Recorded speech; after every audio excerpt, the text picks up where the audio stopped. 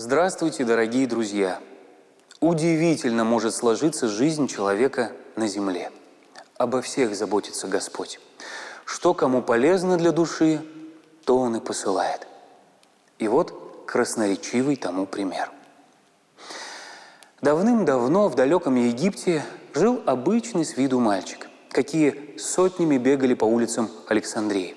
Звали его Аммон, что в переводе означает «песчаный».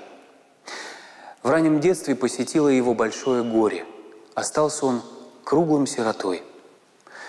Взял его на воспитание родной дядя, человек благочестивый.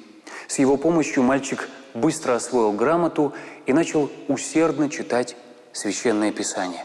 А между тем время стремительно отмеряло свой ход, и достиг он уже 20-летнего возраста. Дядя нашел ему прекрасную невесту. Амон не был расположен к супружеской жизни. Он хотел всю свою жизнь посвятить служению Господу. Но и ослушаться своего благодетеля юноша не мог.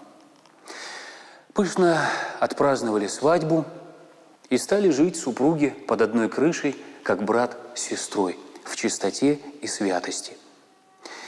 И вот спустя 18 лет пришел день, когда Аммон сказал – я решил пойти на гору Нитрийскую, к преподобному Антонию Великому.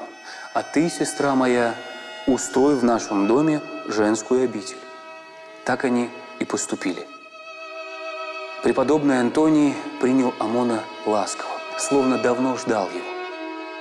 22 года подвязался святой Амон в пустыне, и за все это время никто не слышал от него ни ропота, ни укоризны. За чистую жизнь Господь наделил Аву Амона даром прозорливости и врачевания недугов. Однажды привели к нему отрока, укушенного бешеной собакой. Мальчик тяжко страдал, а его родители были в отчаянии. «Помоги нашему сыну выздороветь!» – жалобно просили они. Что же ответил им преподобный? «Здоровье отрока в ваших же руках. Господь наказал вас за воровство. Вспомните бедную вдову, которой вы украли вала, тайно убили его и съели. Верните ей живого вала, и ваш сын исцелится. Родители мальчика горько раскаялись в своем злодеянии. Твердо обещали они возместить вдове пропажу. Тогда святой Амон, помолившись, исцелил больного отрока и отпустил его домой с миром. В другой раз пришли к нему за благословением два человека. Один прибыл на верблюде, а другой на ослике. Ава Амон дал им послушание. «Привезите мне воды из источника, что под горой. За ваш труд вы и получите благословение от Бога». Взяли те люди большой кувшин и наполнили его родниковой водой. Оставалось только доставить его в келью святого Амона. Но хозяин верблюда вдруг говорит, «Кувшин большой, а гора вон какая крутая. Мой верблюд устанет, а мне на нем еще ехать далеко.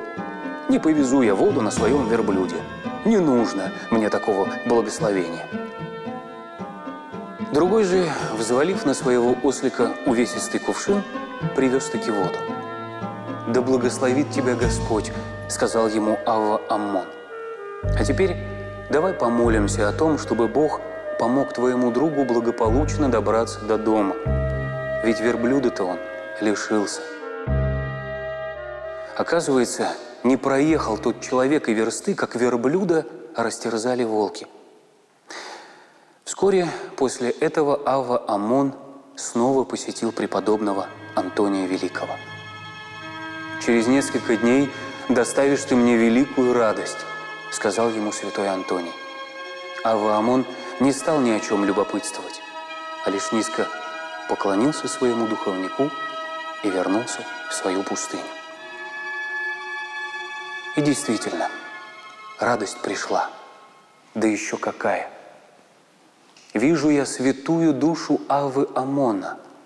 Ангелы возносят ее на небо, сообщил преподобный Антоний всей братьи в день представления преподобного. Вот такую удивительную жизнь прожил Ава Амон на земле. Захотел он душевной чистоты и получил ее от Бога. Дай Господь и нам озариться малым лучиком небесного света. Я желаю вам всего самого доброго и храни вас Господь, дорогие друзья.